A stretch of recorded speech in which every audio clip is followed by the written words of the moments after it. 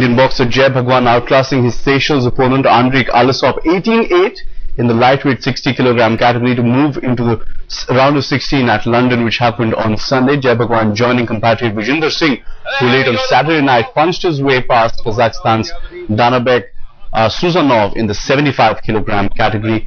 That was almost no contest as the Indian dominated the bout with a flurry of combination jabs, punches being thrown around there.